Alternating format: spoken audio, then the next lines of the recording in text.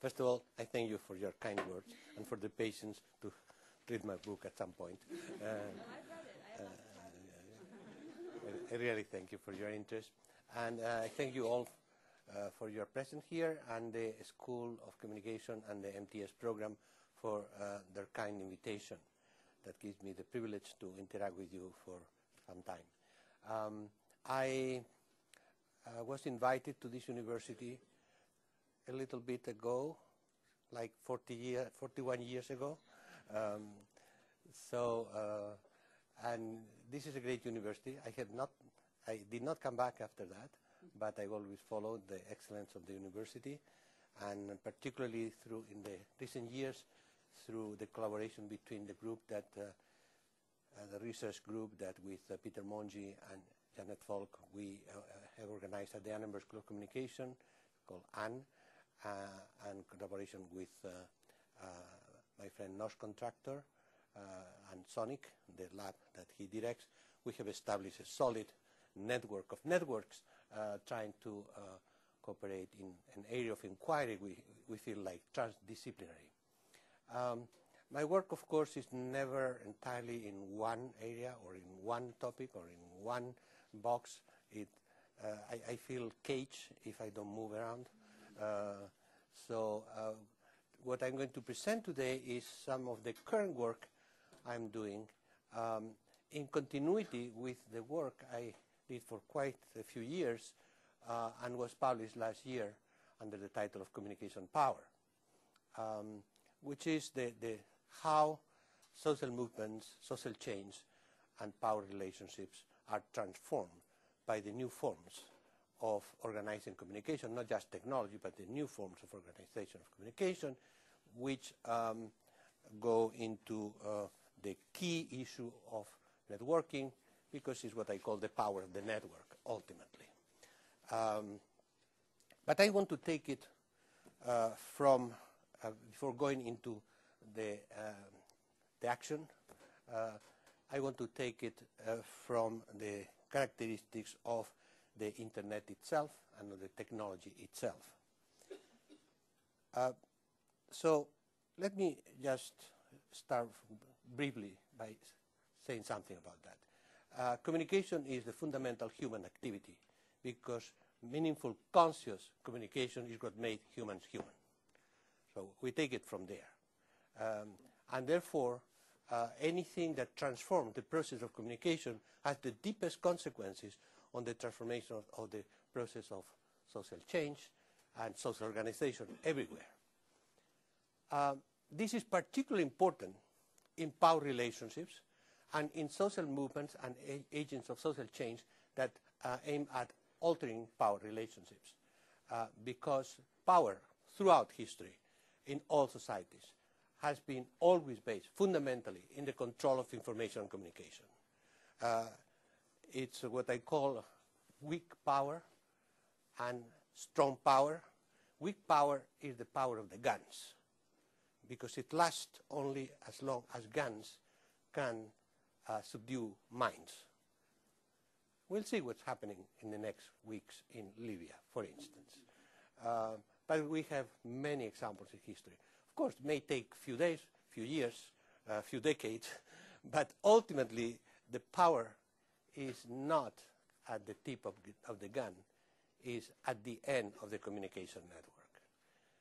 Um, and in recent years, uh, we have observed in the last two, three decades, depends how you count, the formation of the new technological, communication technological paradigm in the 1970s, consolidation of this paradigm there. We have observed a, a dramatic transformation in the process of communication, which is at the same time uh, a consequence of technologies, organization, culture. The, I have tried to argue in the past that the key of this transformation is the shift of the process of transformation that relates to the entire society from what we call mass communication to what I call mass self-communication, which ultimately from the traditional mass media to the internet and derive uh, from the internet, the web, etc. The notion is that um, is in one case, we have one message from one to many with little interactivity. In other case, we have many messages from many to many uh, with interactivity in a multimodal form and all the interactors uh, related to a hypertext of information and, and communication where they can retrieve and feed into their networks with the notion that the senders are receivers and receivers are the senders. And therefore, this transforms uh, the, the, communication because it's self-selected, self-retrieved, self-organized, self-directed, etc. Under the, of course, the framework of the powers in society. There are corporations, there are government, there is culture, there is all kind of things in society. But the degrees of freedom of this particular interaction are much greater than any other form of communication throughout history. Um, now, this is not an accident. Technology is material culture. Technology is not simply something that engineers design. Engineers design on the basis of ideas. Engineers do have ideas. And they have the ability to design one thing or the other and organize a system one way or another. So the way that Internet was designed was on purpose a technology of freedom, a la Ithiel de Sola Pool, although was not, uh, he was not totally aware of the Internet at that time in 1983 when he was writing. Well, the Internet, of course, started in 69. But as we know, the Internet, the people who designed the Internet and later on, uh, I mean, Vint Cerf, Kahn, uh, Jon Postel, uh, uh, all the fathers of the Internet, and uh, the, the persons who later on developed the, the, the interaction of, the, of, of uh, social and uh, communication interaction on the basis of the internet, uh, most notably um, Tim Berners-Lee, they all on purpose wanted the internet to be a free network of communication and to make sure of that they actually um, diffused the protocols of the internet free on the internet, uh, break, breaking through a complete uh, notion of um, uh, intellectual property right freedom, which, by the way, uh, history, and this is the interesting part of history, sometimes goes well, sometimes goes badly, but the interesting part, history uh, would have had it other ways. There's no point why the internet should be as it is today. You know what happened? We always win thanks to the stupidity of some powerful people. Remember, in 1970, DARPA, that had no use for the internet, uh, because it had no military purpose. Uh, again, the, the, Paul Baran story is an urban legend. Um, the, uh, actually, DARPA proposed to AT&T to take the internet. The internet had been deployed in 1969, so why not? AT&T looked at it seriously for six months and said, no commercial interest whatsoever. Uh, and that's how we escape. And we escaped from the French government as well, that had developed Minitel, a kind of a French internet that would literally stop at the border because to interact within the International Telecommunications Union, you needed treaties, state treaties for protocols of communication to cross the border. All right? Uh, so the, the, the, internet could have been based on Minitel, based on corporate uh, intranets, and would be a completely different thing. So computer networking, yes, this is a technology and developed out of the ingenuity of engineers. But the actual construction of the internet was the materialization of a daring culture of freedom, financed by the Pentagon, which is how wonderful uh, life can be and how much more complicated it is than either right or left think about matters. So the Pentagon didn't know what they were doing. DARPA, yes, but not the Pentagon. Um, France could not impose Minitel over a number of years, and AT&T let escape the opportunity of their life. So we know that in recent years, not just months, there has been a number of major challenges in, in, terms of social movement, which are based on this uh, technology of freedom capacity. But this, and I will come to this in a moment, but this is partly because of what is embedded in the technology. First, the technology, but also, and not only the decision of the fathers of the Internet, but also the waves of technological uh, uh, cultural, the, the, wave of culture that induced this technological development. In my studies on the Internet, I have signaled how the Internet was produced over four decades by uh, successive layers of four, uh, sorry, of six major cultures. The, what I call the techno-meritocratic culture, meaning originally engineers and scholars uh, and students, mainly students uh, at the universities, which simply applied the values that scholarly research has always had, meaning uh, creativity and communication of research without any particular purpose than the excellence of the research and the technology that they develop. Second, the hacker culture, uh, in the sense that Pekka Himanen has uh, defined and documented, meaning uh, you do something because of the passion to do this something. That's why every one of you, I think, has a hacker inside. Because most of you, uh, if you are able to be here at this time in the afternoon and you are not in the corporate culture, means that you decided to make less money but do something that you were passionate about. So that's what is a hacker, be it social work or teachers or technology or anything else. So uh, the hacker culture was also a culture of freedom that created many of the tools that we are in the internet and started this tradition of the users being the producers of technology by interacting and organizing the hacker community. Third, the virtual communitarian culture, uh, like the well in the 1980s in the, in the Bay Area, like uh, Howard Rheingold uh, in its origin. The, the communities that were built as a culture and which were trying to use the internet as a foundation for a real community in the age where people were looking for real community. Then, starting in the 1990s, the entrepreneurial culture meaning when the internet was then freed in, in terms of uh, being privatized and being technologically diffused, the internet jumped uh, in terms uh, of the size of the um, users, of internet users.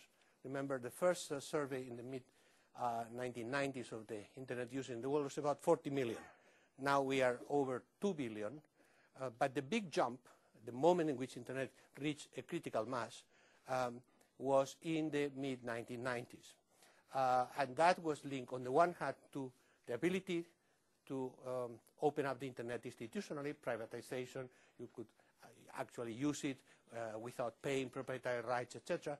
And also a number of user-friendly technologies, most important of which was the World Wide Web, of course, that made the possibility of creating your own uh, web within the web.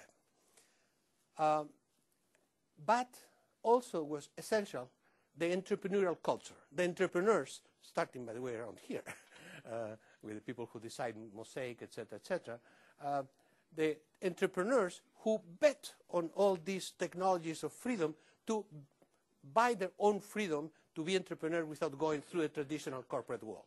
And that created a whole industry. Imagine uh, all, the, all the big companies today that did not exist 30 years ago, 20 years ago, or 10 years ago. Uh, we, at one point, Apple sounds like an old corporate type, you know. Uh, uh Google, uh, it, 10 years ago, was basically nothing. Uh, they, they, they, started to, to grow only very lately. And in every case, were entrepreneurs, were people in the traditional Schumpeterian sign and, and sense of entrepreneurs. Then to this, I personally add uh, what happened in the, uh, in the late 1990s and particularly in the last decade, the explosion of the mobile communication youth culture that completely transformed the uses of the internet, which I have studied one of my books, uh, and uh, which uh, literally uh, distributed networks of communication throughout the entire um, realm of life. Remember, uh, studies show that um, what is important about mobile phones and wireless communication is not portability, but permanent connectivity. This is the critical thing. Most, most, uh, most uh, calls actually are from home, work, or school.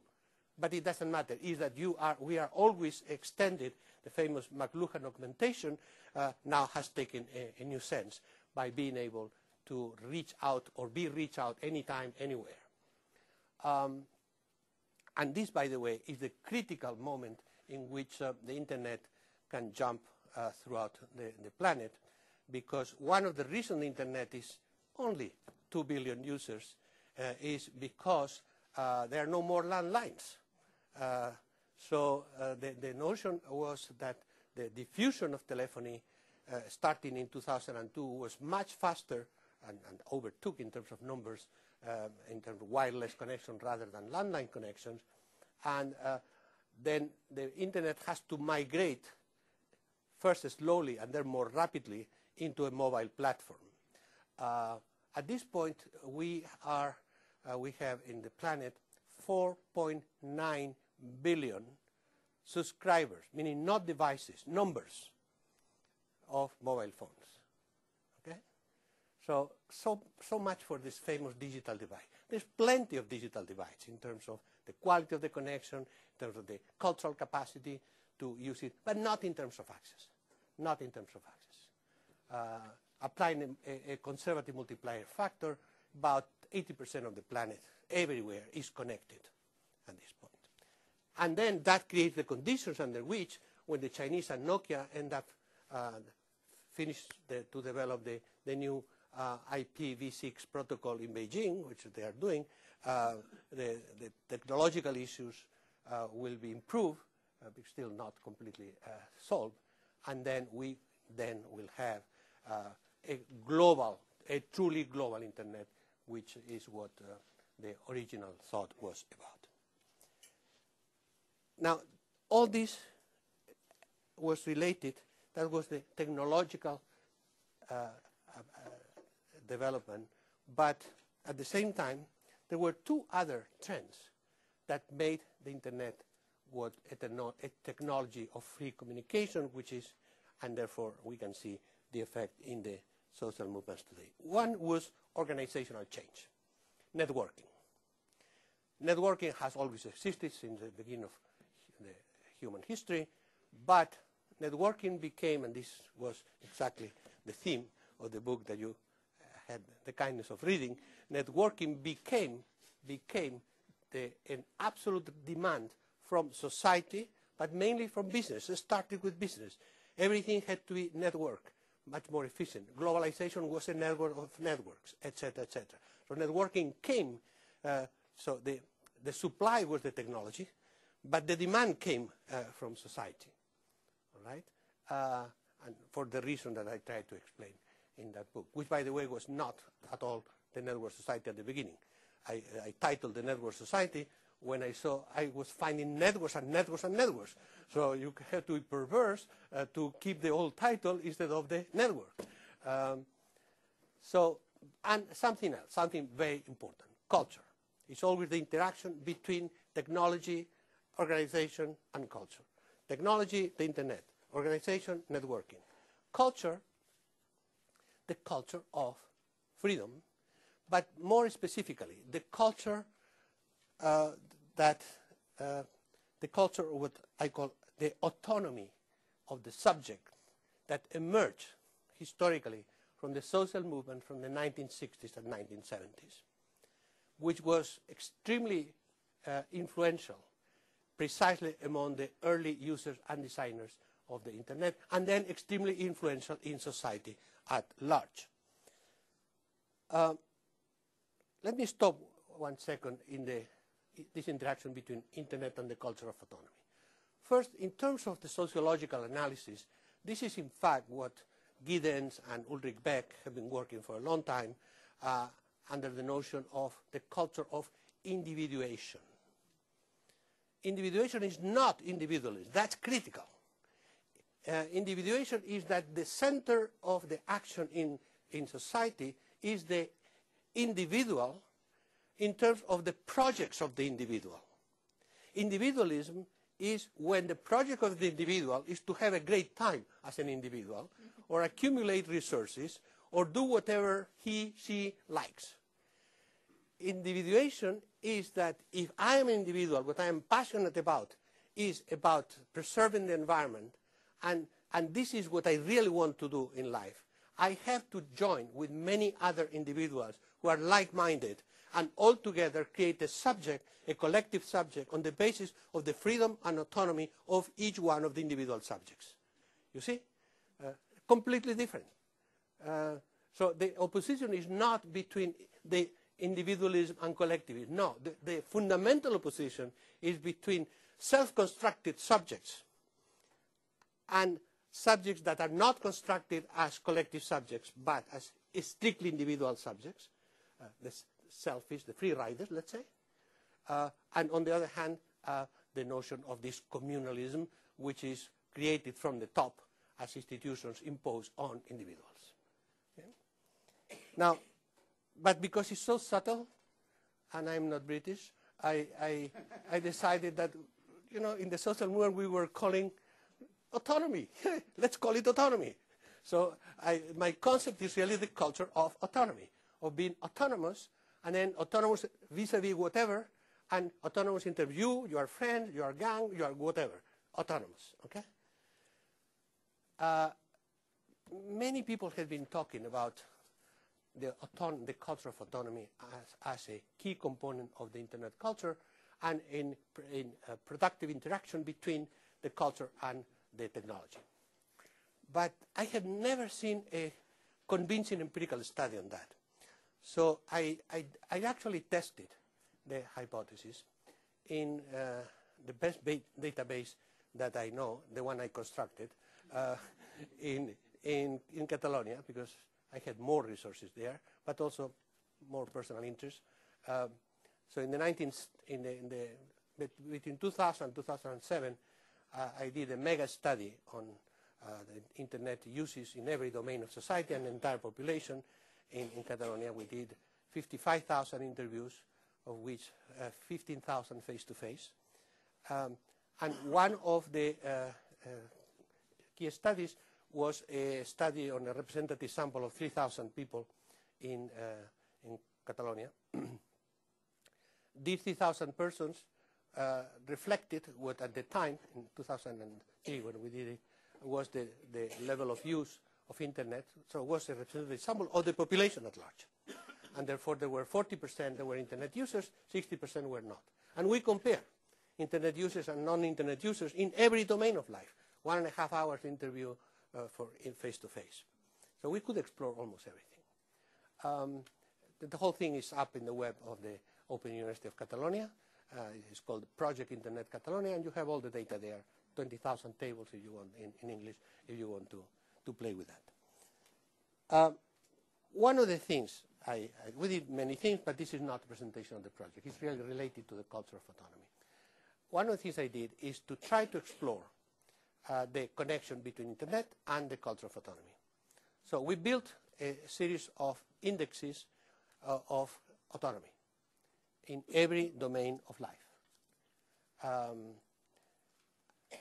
by autonomy, understanding the capacity of the subject, the capacity of the individual in this case, uh, the attitude and the practice vis-a-vis -vis other institutions of society. For instance, in the, in the practice of uh, the individual autonomy of uh, the, uh, the body, autonomy of the body was one of the things, uh, how much people read or don't read the prescriptions, how much they look for alternative treatments, how much they try to call the doctor, how much they select uh, within the, the, the, limits of the insurance, they can select one, uh, one, one doctor from another and how they relate to that, the entire medical practice of, of people in the economy. So, and we put all that, uh, all that data into the machine, and I did a factor analysis. Factor analysis, I, I like it because uh, objectivates a little bit what you do. Don't like it when you simply see the factor analysis and that's it, with, with no theory. Data never speak. You have to, to torture the data a little bit so that they can speak. Um, so we, we found uh, six factors uh, of, uh, in terms of indicators of autonomy professional development, autonomy in professional development, communicative autonomy vis-a-vis -vis the media, business entrepreneurship autonomy, entrepreneurship in the traditional sense, um, the body autonomy, autonomy of socio-political participation, and personal autonomy as affirmation of individual personality. Uh, of course, in a population, high level of autonomous people are a minority, always. In, in the case of Catalonia, was between 18 and 23 percent, depending on the uh, type, types of autonomy. Uh, but these are critical. These are the people who move society. Okay? So uh, statistically, the six factors, as it should be, were independent. Okay? They were different. Uh, so not necessarily the one who was, I mean, actually not, the one who was autonomous in uh, professional development was not the same one autonomous in socio-political development, and so on and so on. You, you, you get the idea. And then we established the relationship between each one of the six uh, types of autonomy and uh, uses of the internet in terms of use or not use, frequency, intensity, and uh, knowledge. And we had time, we have two time moments. Uh, so the results were net. Um, the more people were autonomous, the more they would score high in internet use in every uh, indication. And the more they use internet, the more autonomous they became. Well, it's not rocket science, but at least we, we know we know that there is actually a proven statistical connection, at least in the context I could study extensively, between the uses of internet and the construction of autonomy. So uh, this is, of course, critical for the analysis and the study of uh, social movements. So based on that, uh, I have been working lately on two uh, types of uses of internet in the relationship between um, social actors and the state. The state. No, I'm not entering at this point in the corporate world, into all the powers, etc. One that I will, I will go faster, but I want to mention because I think it's important, WikiLeaks. The other, which is not WikiLeaks, and is Wiki Revolutions.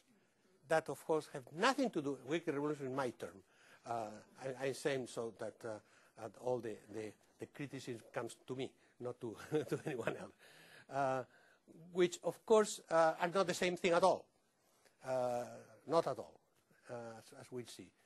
WikiLeaks is actually not a wiki, and Wiki Revolution is not about leaks. Um, so, uh, what is interesting about WikiLeaks? I assume that you know uh, all the basic facts about, about WikiLeaks. Um, therefore, I will not uh, use the precious time of our interaction to go over that. But if anyone is interested, I have all the documentation, so I, I can tell you. Uh, you want any uh, sexy details on the matter, uh, I, I, I, have all the details. Um, but the key thing about WikiLeaks is that uh, it's not WikiLeaks per se, it's the reaction against WikiLeaks.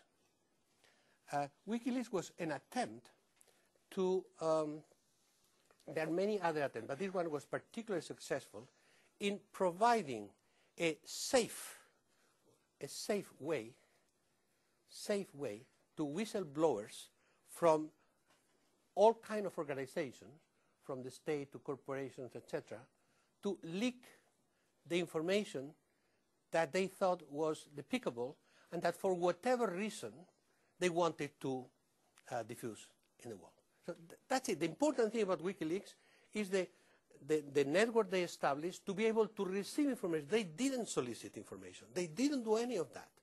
They open up the possibilities with all kind of networks, and they actually were able to provide very good technology, cutting-edge encryption technology, to protect the Dropbox and to um, erase the traces of the communication. Uh, in, in, in, most cases, the communication was through the internet. So to do that, they uh, use and they contributed, but they mainly use a technology that is very important and, and has been used now recently in Egypt and other places, which was originally designed by a group of Taiwanese engineers connecting also to the United States, the onion router. The onion router is simply Tor. Tor, Tor technology is, is called. It's simply a technology that allows to uh, erase the traces of any message being sent through the internet by going through a, a global network of volunteer computers that accept to receive and, and, and forward uh, the messages, okay, or the, the package, the package, okay?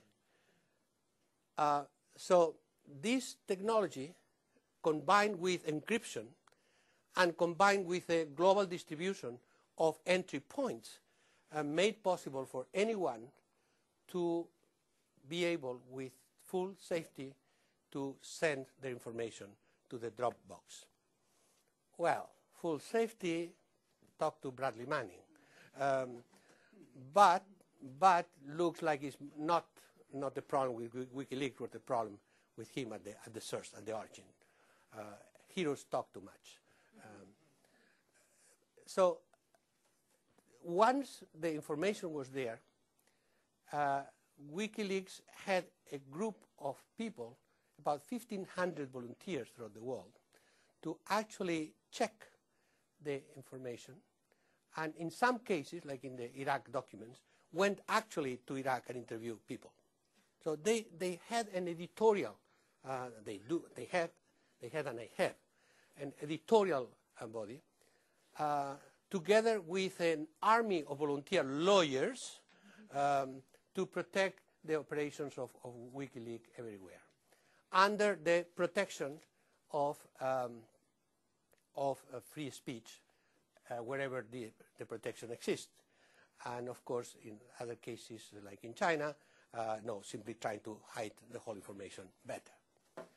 Um, the, the important thing is that WikiLeaks tried to um, provide the, the safe reception and the ability to reach out to the entire world. And that's why they made an agreement with the five major newspapers in the world, uh, the Spiegel, the New York Times, Le Monde, El País, and The Guardian, to publish the informations edited by the media themselves. The only thing that Assange uh, tried to obtain uh, was that they should refer to WikiLeaks and they should refer to the uh, website of WikiLeaks, which everybody did except the New York Times, and that created a, a, a big, a big uh, fight between Assange and the New York Times. Now, it, this is not a wiki in the sense that what is wiki is the leaks.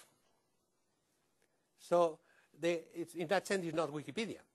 Uh, so the, the, editorial committee actually makes decisions, says this yes, this no, and is very restrained for obvious reasons. They have to protect uh, the, the, underground operation. Um, but they're legal at the same time. They're legal with different fronts in different countries.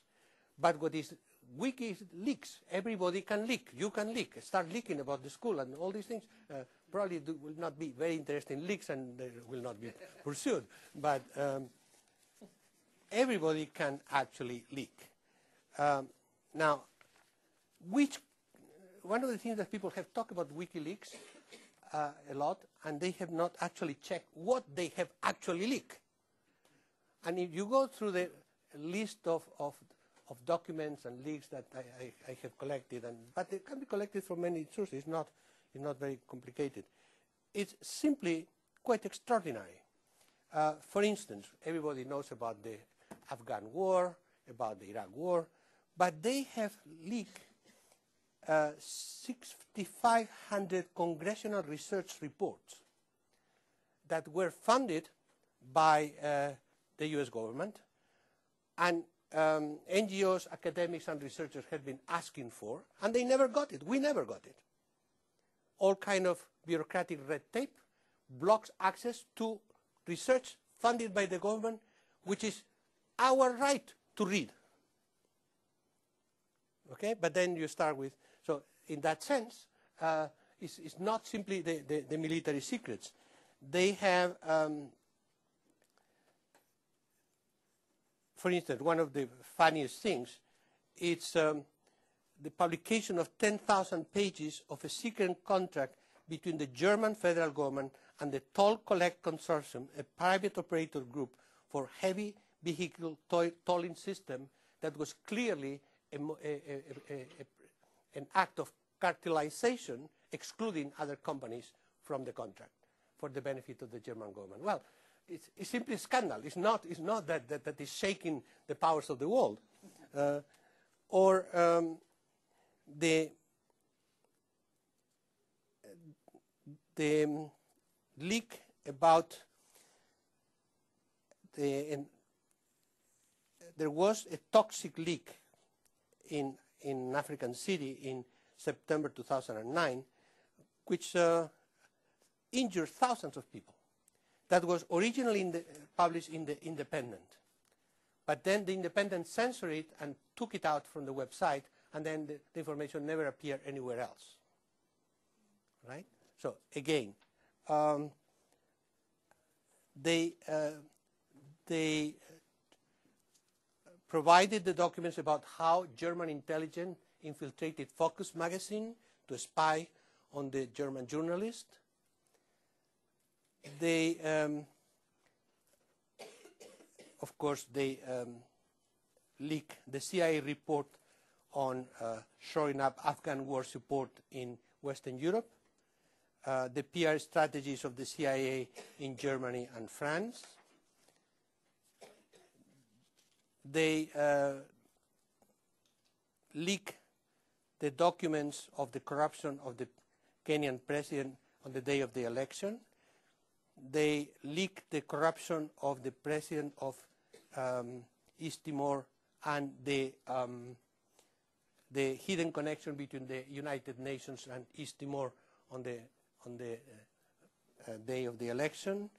Um, they um, systematically look at the suppression of information in the European satellite uh, television that, broadcast European television. Uh, they uh, try to see how the Chinese language um, information is uh, edited and deletes anything bad to China from the European news. And then they publish these leaks. Um, of course, they took on the Church of Scientology, they took on the Legionnaires of Christ, one of the most dangerous ultra-conservative Catholic uh, congregations, uh, and published all the documents of the dealings uh, to prevent the action that the Pope was going to take against them. Um, they uh, leak many of the um, molestation reports uh, in, from the Catholic Church. What I'm trying to say is not specialized in organizing leaks or security reasons on the Afghan war, it's a broad range of everything that is hidden from the view of the citizen, most of which is not a state secret. The huge majority is not a state secret. The diplomatic cables of the gossip vis-a-vis -vis, uh, the leaders in that country or that country um, is simply a window into the actual thinking of this actual global political elite about what the other people are, what the other people do, right? Uh, and uh, certainly the um, what uh, we could consider uh, damaging for some governments, like Tunisia, had nothing to do. I mean, revelations through the diplomatic cables about the corruption of the Tunisian president, everybody knew in Tunisia that's why they did what they did.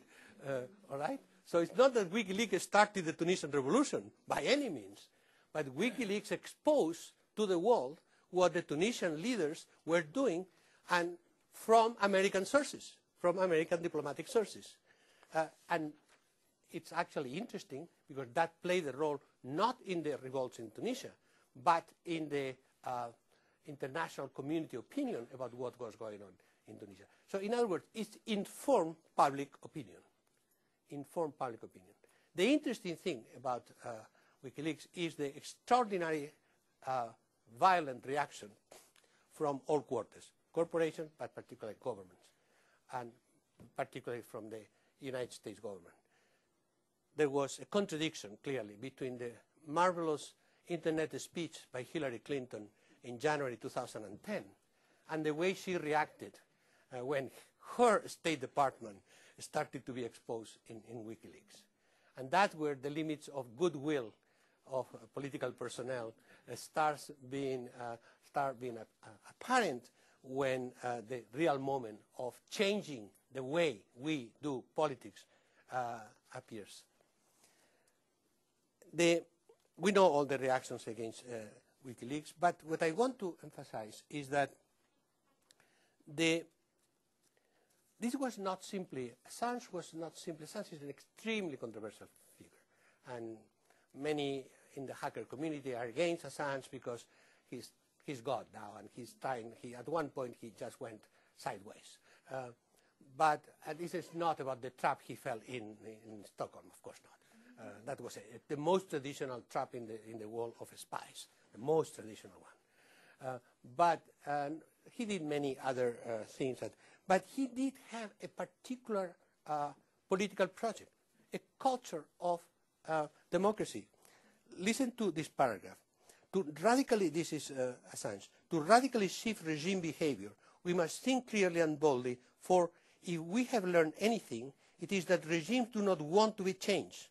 We must think beyond those who have gone before us and discover technological changes that embolden us with ways to act in which um, our forebears could not. It's a very clear understanding. We have an instrument, we have a global networking capacity, and we have the technology that we can now use to actually force regime change in the sense we have to we can force openness and transparency where has never been before. One of the uh, comment, commentators of uh, Julian Assange, Aaron Bady, uh, did an analysis uh, calling Assange's philosophy as philosophy of authoritarian conspiracy and he, he, he extracted from some of the uh, Assange writings um, something that is directly relevant to network theory. And, uh, and I, I, I, I convey this to our network theory specialist to see if this makes any sense. The notion is, well, when an organization is structured by direct and open lines of communication, will be much more vulnerable to outside penetration. But on the other hand, the more opaque it becomes to itself as a defense against the outside gaze, the less able it will be to think as a system, to communicate within itself. So you see, the, the point is, is about entropy, right? Uh, the, the more you try to protect against the rest of the world, the least transparent you become, the more conspiratorial you become inside, and the less efficient because you have to break down the networks of communication inside. And this trade-off clearly has been chosen for a long time by all power organizations of being on the side of preserving uh, secrecy rather than efficiency or open communication inside.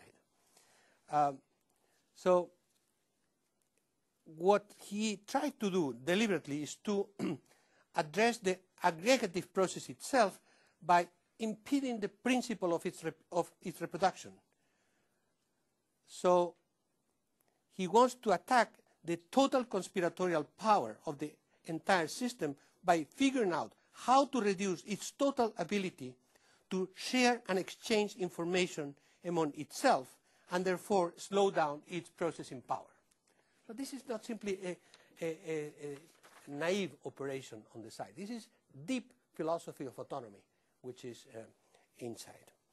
Um, now, of course, WikiLeaks is, is, has been damaged, not destroyed, but has been also challenged by uh, other of the people, other people who were in WikiLeaks, like Daniel Domscheit-Berg, that quit uh, WikiLeaks to form OpenLeaks, which is based on a different philosophy.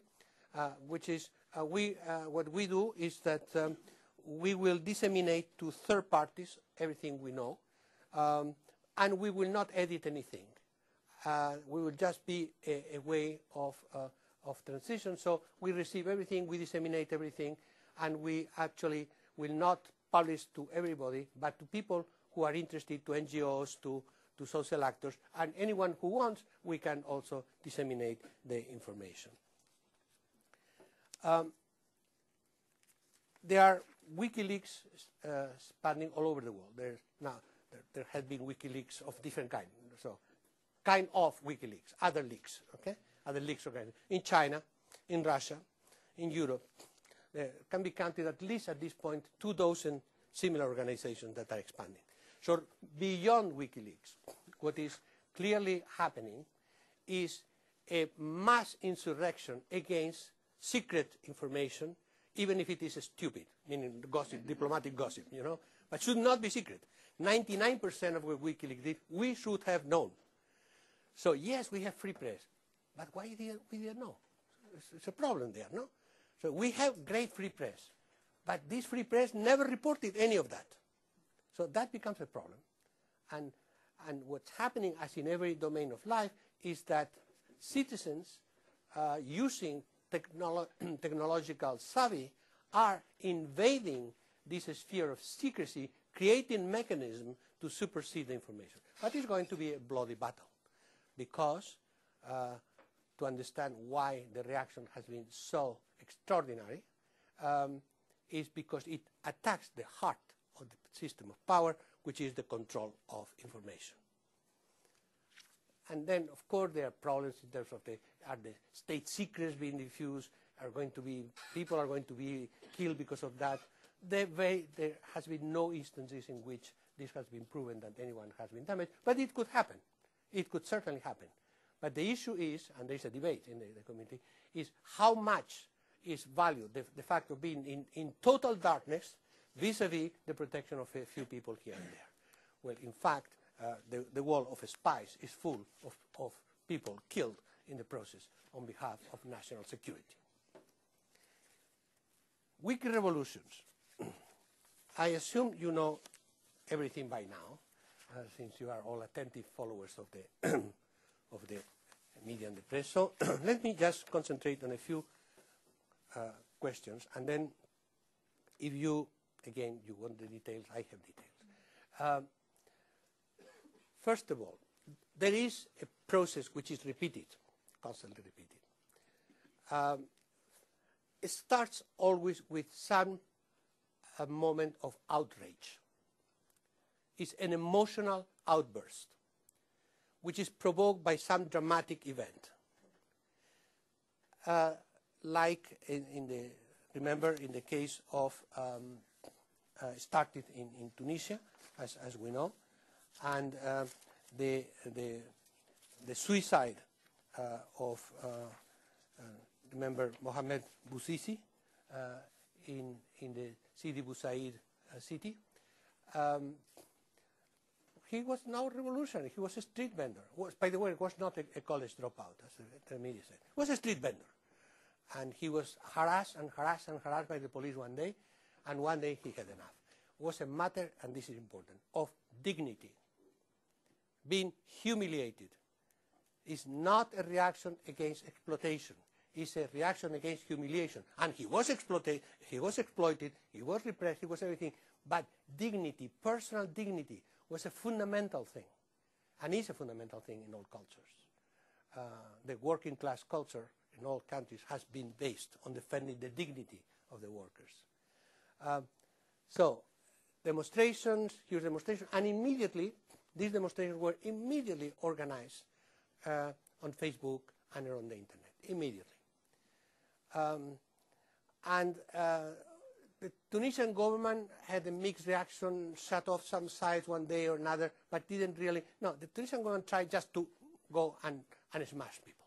Um, and there, the problem they had uh, was the, the mass insurrection at the, at the lower level and the fact that the Tunisian army uh, decided that that was enough and they, they, could be in danger, what happened in Egypt later on.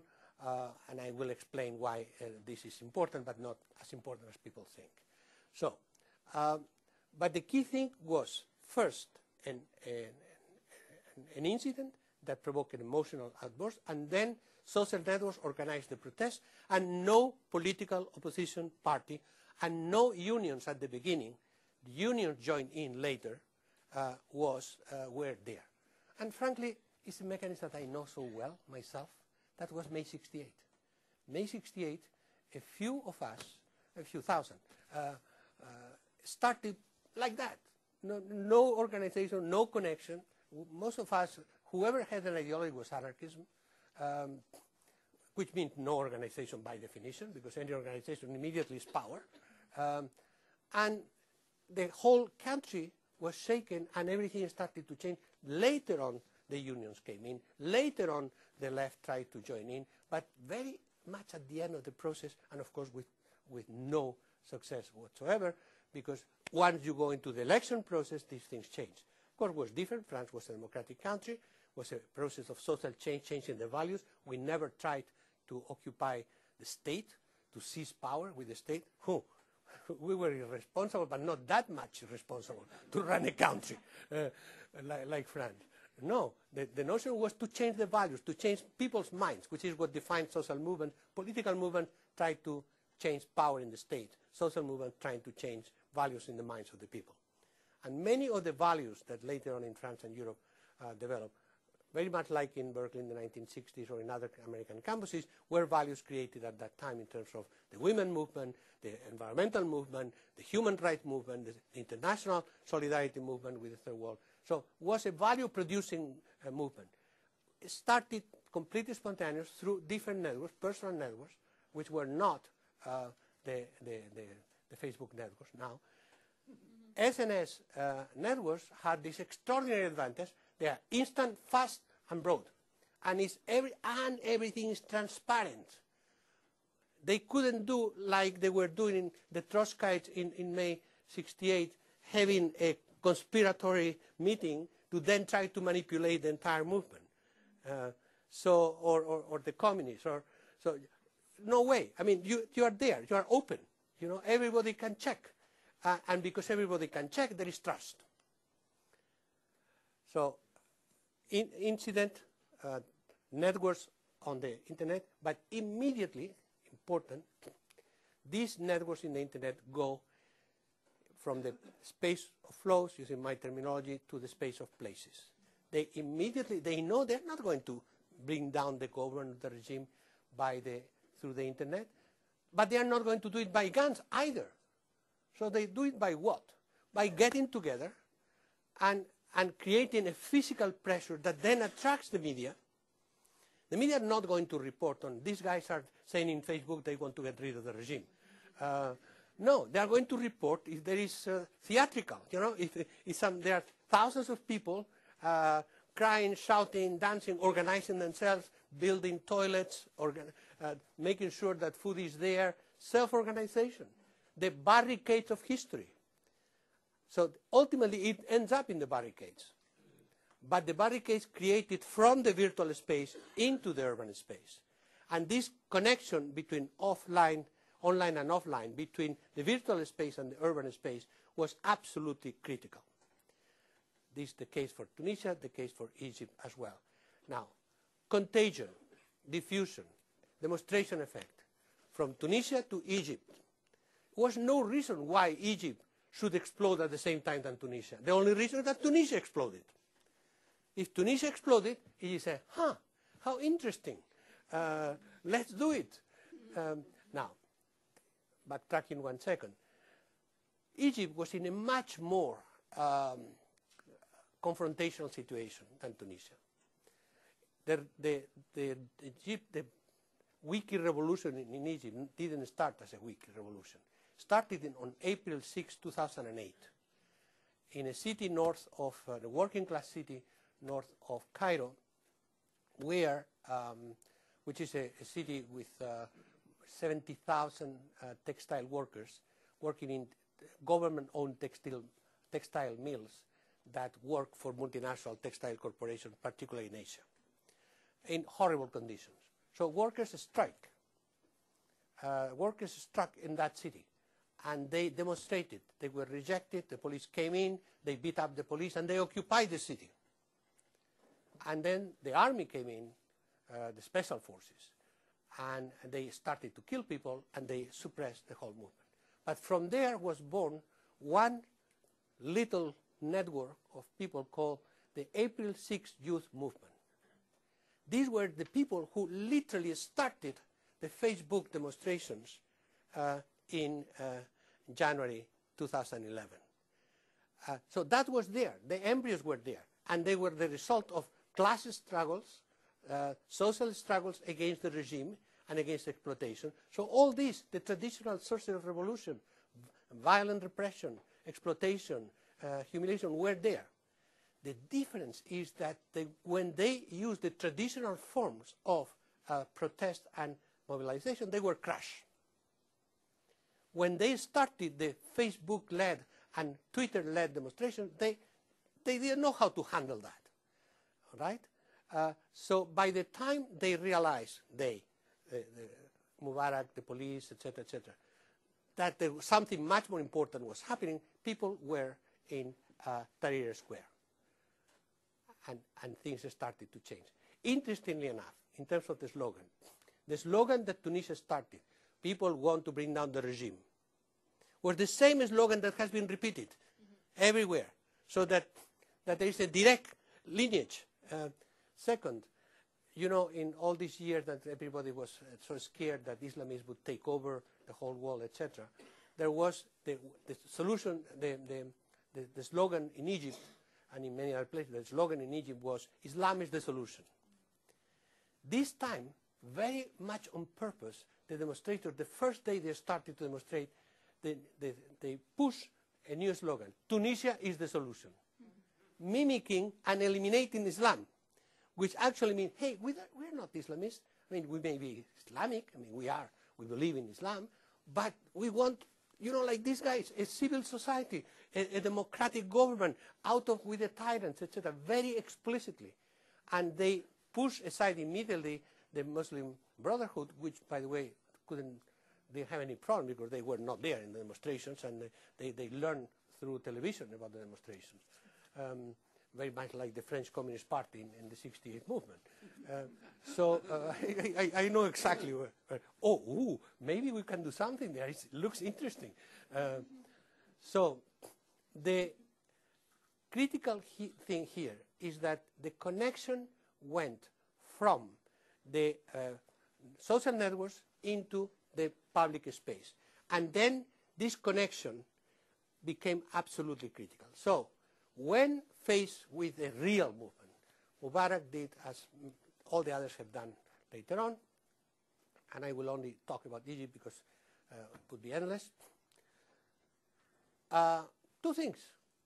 Uh, repressing people, violent, use violence and shutting the minds, right? Shutting communication. It's from the beginning of history. Uh, you uh, first hit people and then you shut off communication. So he tried both. Uh, and then uh, first time in, in history that the internet has been shut off completely. Not completely. That's the interesting thing about, about Egypt.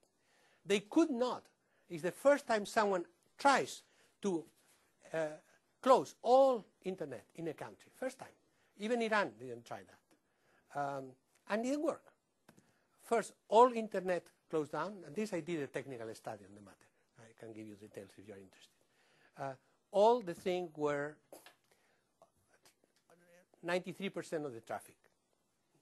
7% was with, uh, because they, they didn't do any plug thing. You know, they didn't push a button and stop the internet. You know that's not possible, right?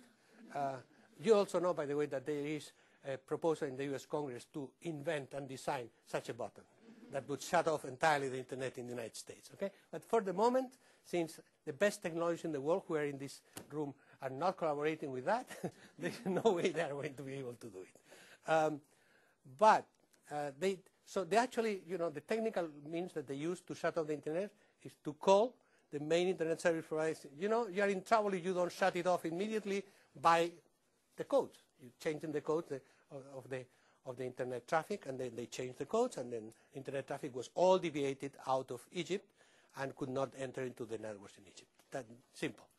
But they couldn't do it with everybody because they didn't even know uh, the, the, the, mini, mini, mini independent service providers who, who were accounting for about 7% of the traffic. But the most interesting thing, that they couldn't do it entirely for five days, remember, five days, because a global movement of support of internet in Egypt started. As started in Iran, as started everywhere, and it will continuously start. This is a network of people who don't know each other, who have no organization, but have a common goal. The goal is to defend freedom in the internet, to defend free circulation in the internet. And thousands and thousands of people with good equipment are in this movement.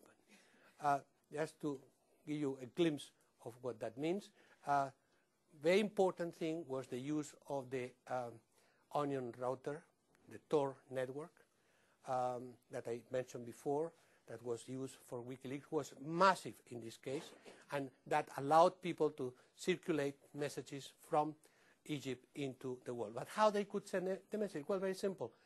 Landlines were never cut. You cannot cut landlines in a country because then the police cannot call. Um, uh, unless very dedicated special commandos. So if you have landlines, you have a smartphone, use as a modem, and then you use the landline.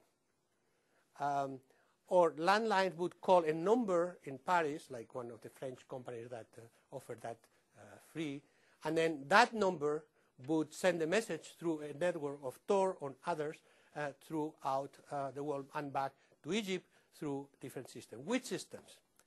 Uh, has been highly publicized, the uh, speak to tweet that Google and Twitter uh, um, developed. Is that interesting that Google and Twitter are in revolutions? Uh, it's interesting, right? Well, because they are part of a community. They, they, of, of course, they do it to make money. That's their main motivation. But they cannot be completely separate from the culture of freedom in the internet that the global community has, or they would be in trouble. Um, so uh, how now, the, the, the, thing is clear. The, the, tweet would go back to Egypt. Uh, you uh, speak, you call a number, the number trans automatically transfers the message, the voice message into a tweet, and the tweet goes back to Egypt. Little problem. There are only 14,000 users of Twitter uh, in Egypt. Well, first, it's not entirely a problem because we know that you have an entry point. Uh, you have 14,000, let's say, then reduced to 6,000 uh, but if you have 6,000 entry points, things start networking, right? But how they would network? Well, there comes another cavalry, uh, Telecomix. Telecomix is a Swedish-based hacker global organization that does all these kind of things, and they designed a program uh, that allowed through Google to find automatically all the fax machines numbers in the entire Egypt. So all the messages coming in would be sent by fax machine, of course, landline, everywhere in Egypt. So Mubarak got a lot of them, of course. but so did thousands of other people. Once you establish this network of fax machines and the, the, the few tweets and these uh, calls, then other means started to be used, ham radio, and then leaflets, and then graffiti, and then social networks. So the, the whole thing is not only about the internet. It's the internet being the core of global local communication, organizing a set of networks that were multiple, multimodal, etc.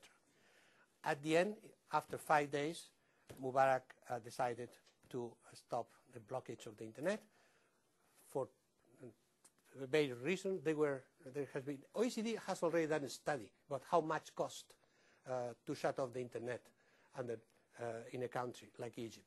Well, it's $100 million a day. Uh, so th there was an economic cost for, with not great use.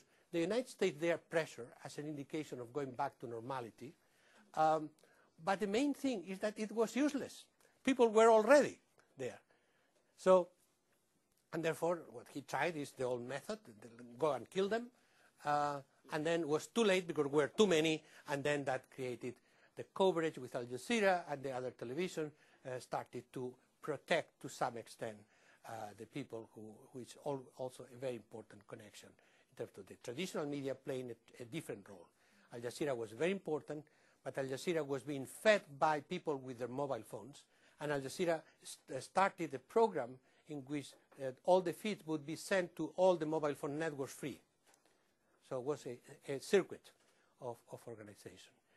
Um, ultimately, the most important thing about revolutions is if uh, two factors. One, overcoming fear. That the neuroscientists have discovered that the, the basic emotion that governs our life is fear. This is the basic emotion. Why? Why we know that? Because those who were fearless were eaten up. If they wouldn't run fast enough, they are not here anymore. It's traditional Darwinian logic. Uh, okay, if you overcome fear, everything is possible. The only thing they can do is to kill you. Okay? Uh, but then another, the other mechanism operates. Uh, togetherness, support, networking, protection by the fact that you are not you, but you are you and many and many and many, and it is throughout the planet, and people are organized and mobilized in your defense. Sometimes yes, sometimes not. If people uh, in the rest of the country and the rest of the world don't care, eh, they will kill you, and that's what happens in many often. Uh, but if you have a protection system, then the cost of killing escalates. And therefore, it's a cost-benefit analysis. How many people I have to kill, and or can I negotiate? And then this is not a unified system. Then the army says, hmm, this is a problem. If I intervene and kill off these people, maybe the army will divide. And all the armies in the world have one principle, never divide. Because as long as you don't divide, you have all the guns. Uh, if, if, you, if you divide, everybody is in danger, okay? So then the, the analysis is, okay, well, if it is, you know, this guy, 83, is, is, is finished, uh, and we control the country anyway because we have all, the, all these goodies, all these companies, all these things. Okay, let's get rid of him and then we'll see the situation later. Now, of course, the tough part becomes now in which this revolution is not stopping uh, because has no political intermediaries and they are trying to negotiate directly with the army, etc., etc. Now, and the, the, final point is that, of course, uh, the, most ridiculous discussion I have seen is uh, the discussion about the revolution cannot be tweeted. Of course not. I mean, whoever said that tweets create revolutions? But these revolutions would not happen without tweet. You, you see the point? It, it's a necessary but not sufficient condition, of course. And this is a typical reaction of New Yorker or Parisian intellectuals, which is the same basically, which out of ignorance and out of the fear of being disintermediated by internet networking, react in a way saying, no, no, but it's not the internet. How could be the internet? It's a technology. Who, who cares about technology? It's, it's, it's people's struggles. It's, uh, well, yes, people's struggles and, and, and all these uh, sources of exploitation and oppression. But guess what? All this was in Egypt two years ago, uh, sorry, uh, three years ago and earlier, and all these struggles were crushed. This one was not. Were different actors, but not only different actors, were people who felt a different kind of togetherness at the moment of outrage, and because they were doing what they were doing in a global uh, communication system, they found the connections with the other networks.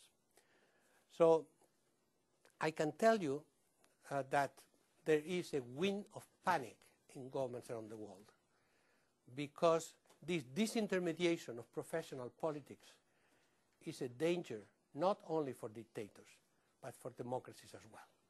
Because if people get the, this bad idea about starting to organize themselves, uh, all the elites are in trouble.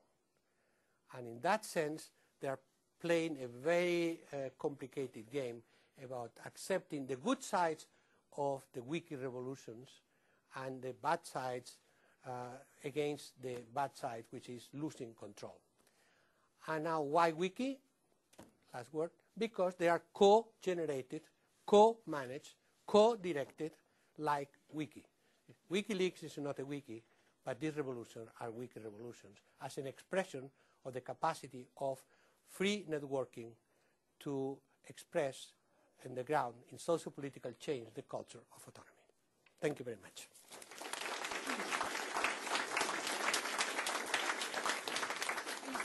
fielding some questions? Absolutely, no problem. So at this point, um, it's a little past five, so if people need to leave, that's fine. But if you would like to stay, um, Dr. Castells would like to field some questions. And we also will have a reception upstairs in the atrium afterwards where people can follow up uh, further. So I'd like to open the floor up for some questions.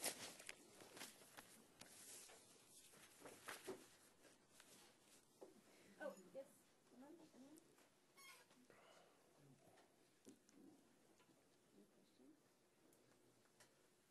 I I have a question on like, um, the, more on the WikiLeaks part than on the, on the revolutionary side, so, um, I think one thing that happens if you have these, uh, is really like a, a massive increase in the demand and realization of transparency. And so Yeah, you see this exactly. both on the corporate side and on the political side so. So I'm wondering now, uh, wh- how do you see kind of, what's the future of privacy in this world? That's a very good point.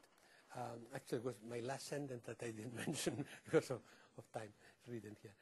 The, the price that you pay for this transparency is to accept forever the end of privacy. Uh, the little twist on that is that has never been real privacy uh, in terms of the ability of the powerful to observe and surveil the powerless. It's al- always been surveillance, at least for the usual suspects. Um, the difference now is that they surveil, but we can surveil as well. And we have many more eyeballs. Uh, so it's, it's, it's, it's another game. But you are absolutely right. The key is if everything is upfront in the net, uh, to the police to start with, and everybody uh, knows exactly what's going on. Now, and the, the issue is how much, who actually wins from a transparent society? Uh, my guess, but uh, at this point I still have not concluded this analysis by any means, my guess is that the, the least power you have, the more you win in transparency. Because, um, because at, at least it equalizes the, the field, or the, the playing field uh, between the people who have the technological and organizational means to surveil people and people who have some basic uh, means of surveilling uh, the others. For instance, anyone with a cell phone and, a, and therefore a, a camera and a video can record any uh, wrongdoing by any of the uh, persons, uh, political or corporate personalities that are in the world.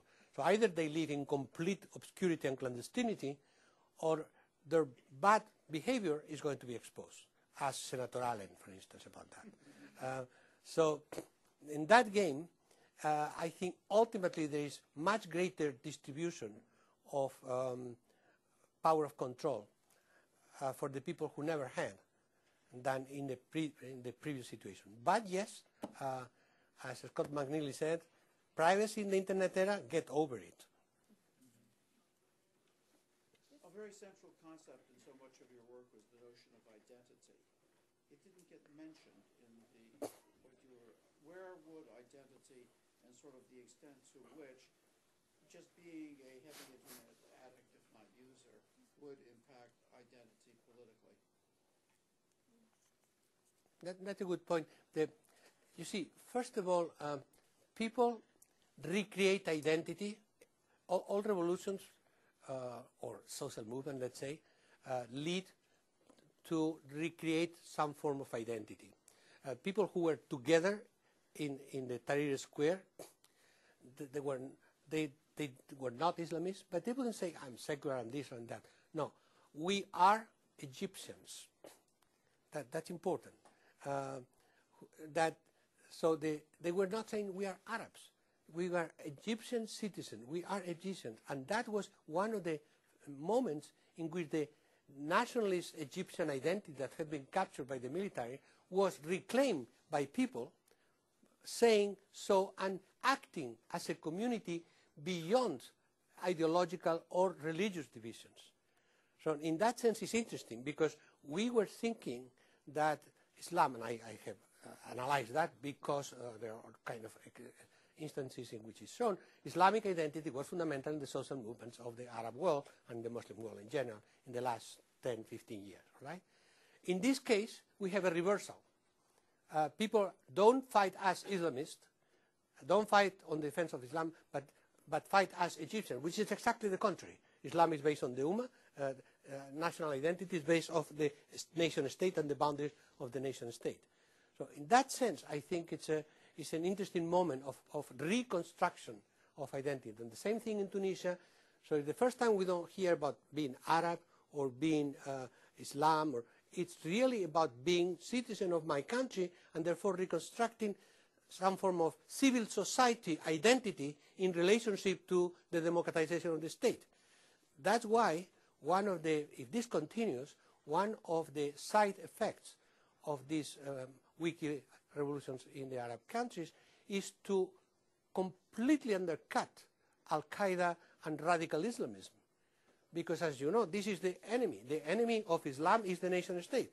Uh, the civil society based on democracy is the contrary of the civil society based on Muslim identity and even more on Pan-Arab uh, identity. So th this is an interesting thing that people have not thought about, that maybe the most important antidote against uh, Al-Qaeda is an antidote of building a civil society and a democratic system in the, in the, in the Arab countries. Okay, we Yeah. appreciate the additional interesting questions, but we would like to uh, move the Oh, group up come. to the reception, and there people can talk. Well, because we just said the opposite. We said that we would stay here until 5.30. Oh, you said 5:30. I'm sorry, I Yeah. didn't hear that. Okay, so if people need to leave, since we announced this to go until five o'clock, um, some people I know need, need to leave, and then at 5:30 we'll go upstairs to the reception. Well, you actually can choose between wine now or me. So it's up to you. No, it's exactly. To 10 minutes more, if you stand me 10 minutes more, then we'll go to wine. Yes, you're there. Could you comment some about the demonstrations in the U.S. that are sweeping the Midwest at least? Um, I've been in Madison as part of those demonstrations, and it seems they're very different than what you're describing. Like, everybody's on Facebook and, you know, we're uploading video and all that.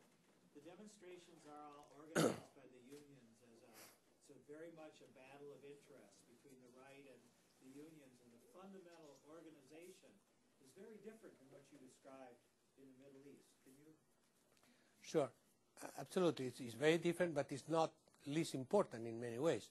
Um, but I don't know, you, you, you know this thing that even had been on Facebook and, and, and other uh, places in the internet, uh, uh, people in Tahrir Square in Egypt uh, saying Egypt supports Wisconsin, uh, which is which which is interesting, which is interesting. Uh, so they are very aware. Uh, uh, but uh, you're, you're right that uh, the, the, the struggle uh, was organized, mm, is organized by unions in, in the case of the right absolutely. Uh, but not only by unions. And there is a very strong movement, not only student, but uh, society at large. And actually, even the polls say that the majority of Americans support uh, the, the, the Wisconsin protests because they, they see what's coming uh, uh, after that. So, uh, but the internet has played a much lower role in that sense, definitely. Uh, although may have played a role, both internet and the media in general, in the um, environment of sympathy that uh, surrounds this, this movement around Wisconsin and uh, around California is also starting at this point. But um, when, let's say, the internet, when I said is a necessary but not sufficient condition, means that um, it's in, in, in certain cases um, you can have to reach another level of the movement, at the level of the entire society. You would need the internet. But it doesn't mean that if you don't start movement with the internet, you are going to fail. In the case, societies have their own specific trajectories. Tra- traditionally, labor unions uh, start with a different method of struggle, and this is what's happening. Um, I, I, I would say we are at the beginning, not at the end, of the Wisconsin movement, not only Wisconsin. For the Wisconsin movement to be beyond Wisconsin, needs the internet. Uh, and this is already happening. And because then you have a much broader public, public opinion. There are Facebook groups being created around this. Uh, students are being now increasingly active um, uh, throughout the country. And the way in which students network is uh, through the internet, but then landing in one public space. So again, it's the connection between networks and uh, public places and symbolic public places, the capital in that case. Um, but listen, for instance, the student movement that started in Berkeley last year against the cuts in the uh, University of California system is not going well at this point because it's isolated uh, from the rest of the society and even from the rest of the students in the country. Um, it will reignite if it is connected through to other struggles which basically are all the same. it's struggles against uh, shrinking the public sector and cutting off benefits and accessibility for people. So th this is the same struggle. Um, and I think uh, the, the, one of the issues uh, to, in terms of the difficulty of extending the struggle is the insufficient use of platforms for debate and discussion uh, in the internet. I know you haven't touched everything, so let me re- revisit something you said. Uh, in your recalling the history of the internet, you talked about entrepreneurs playing a role at the early moments of the commercial internet. And then you, then you went on to talk about the, the steps taken towards freedom. Did you mean to imply that entrepreneurs played a temporary or ephemeral role, or do you mean No, no, no. to play a role Thank you. in this effort? Thank you. This is a very important point. No, the, all these layers accumulate and, and, and mix and recombine in the culture of the internet. Absolutely. Uh, I, and in fact, uh, uh, there's a wonderful book by John Markoff showing the direct connection between the values of the campuses in the 60s and 70s and the entrepreneurial culture in Silicon Valley, and I would add in, in other places. It's a very direct connection. Now, all these cultures are original layers, but then it's like in our brain, the original layers uh, uh, of our uh, neural networks are uh, developed with new layers which add and complexify, and ultimately the internet culture is all of this at the same time with one common uh, trend, autonomy autonomy and, and freedom. Uh, again, the usage of freedom can be very different, can be making bu- business out of freedom, can be uh, socio-political revolution, but absolutely, this is all the, what the six layers that I mentioned are mixed into the internet, and the more the internet goes, and the more we'll have other layers adding, like these wiki revolutions is, are probably creating, creating a seventh layer that will interact with the others. And following on from that, to what extent would you say that this culture of individuation, this culture of autonomy is universal? You mentioned things like Google, like Facebook, like Twitter. You also mentioned the, the Scandinavian network, and Tor is also a, arguably a Western invention. All of these Taiwanese start with, but Oh, it's okay. But all of these come from a particular, uh, arguably they all come from a No, no. particular ideology, whereas um, somewhere like Japan doesn't use Facebook because it doesn't work with their conception of their networks, or China has its own networking type that has its own Google. So to what extent would you say that Absolutely. individuation and, autonomy is a value that is universal with the internet being used now? Definitely. Uh, look, um, in, in terms of cultures uh, in the world, uh, what I, there are two simultaneous cultures, not internet talking now, two cultures that we can measure through the World Value Survey uh, that have emerged with tremendous strength in the last 15 years. One is individuation, the other is communalism. Both equally strong and in fact contradictory to a large extent. Um, but what I, what I really think we can argue is that the internet culture is linked, very deeply linked to individuation, both as a result of individuation culture and as a reinforcement of the individuation culture. And that means that it is a global culture, but it's not a universal culture. Meaning that uh, in China, the people around the internet communities are as individuated as, as in the United States. And in fact, that's the glue uh, that, that connects them. Uh, so, of course, the Chinese government is not uh, in individuation. And that's one of the key contradictions. Um, one of the reasons why all these uh, Arab kids are easily connecting through Facebook or others um, is because already they have gone beyond the traditional communal culture, both of Islam and of the nation state and the, the, the community imposed from the top, and they feel individuals. and therefore they connect to each other as individuals, and then they develop a collective project. Um, the one thing I, I, I, would add to that is that the, the uh, Facebook is not the only, um, the, not the only one. Facebook in China is not very popular because it's blocked. so it's very simple. Uh, China blocks Facebook and Twitter. But there are endless Facebook-like uh, SNS, uh, SNSs in China. Uh, so, and, and, in that sense, it's a peculiar uh, situation, except that being 20% of the global population, we should pay attention. But it's because there is one government which wants the benefits of the internet for something, but is decided that they will not, they will not be overrun by the internet. Uh, but even in China, the individuated individuals have started some micro-Chinese Jasmine revolution, and actually they have called it Jasmine revolution. Not working very well. Uh, the, one reason is because the capacity to repress in China is so much more intelligent and sophisticated than anywhere else. It's really high technology. They, they are going to start exporting it uh, to Europe and the United States very soon.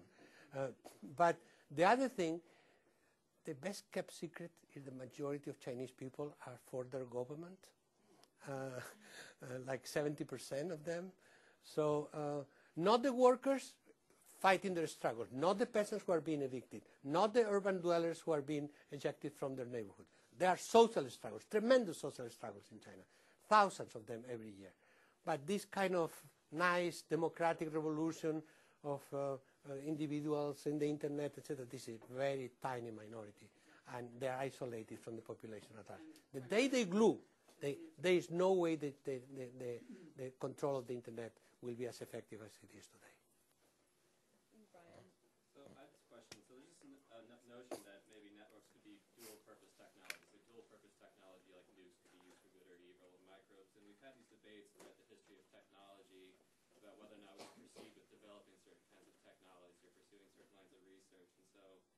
Context of networks, you've had people like General McChrystal have this notion that we should attack the processes that generate these networks and so forth.